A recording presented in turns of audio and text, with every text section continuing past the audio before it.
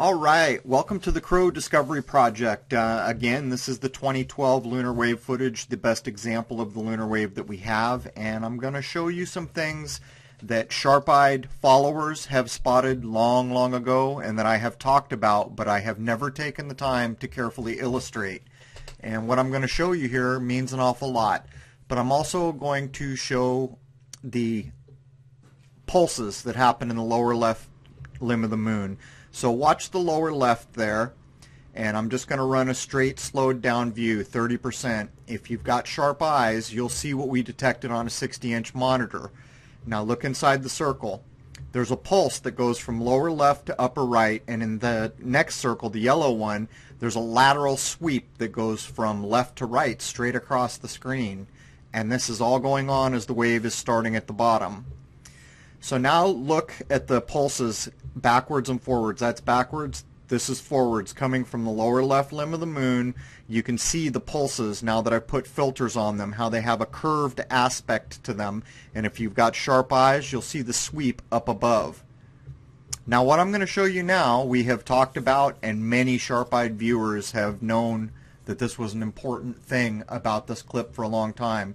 Here comes the wave. Look at the dark underlined crater in the center of your screen. Watch how it's displaced, almost like you're looking through water. There goes the wave backwards, forwards, the wave hits the crater, displaces.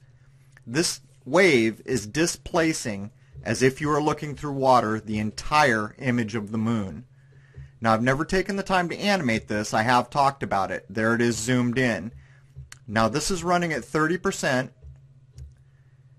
and I'm going to zoom out. There goes the wave to the top, and there's going to be another wave coming in from the bottom. Now I'm going to run this at 30%, so as the wave comes in, you can choose any landmark you want. Here comes the wave from the bottom to the top. Choose any little landmark you can see there and watch it be displaced. Now that round looking ring crater, forwards, backwards, forwards, backwards, and one more time forward, and I'll zoom out and you can watch it go all the way to the top. Again, this is at 30% with quite a few filters like find edge and some other things, invert. Now that means a lot. That means the entire image of the moon was displaced by this wave. And it doesn't happen once, it happens twice because there's two waves. Coming in at the bottom, uh, I'm going to show you another thing that I don't believe I've ever taken the time to animate. Look at the upper left limb of the moon. There's a circle come in, there's a little object that zips through there, forwards, backwards, slowed down, forwards. It's going to go through the red ring there. There you go. That happens three or four seconds after the first wave starts. And this is reminiscent of many, many things we have filmed that are traveling in perfectly straight lines. So there's a couple things about the lunar wave I thought I would point out as this seems to be the season for crazy people to steal website domains, defraud people, take my footage of this clip here and tell people that it's fake, that I use software to do this. This is a real clip.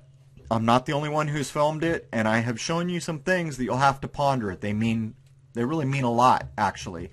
Uh, it's an amazing piece of footage. I doubt if I'll ever shoot anything more important than this.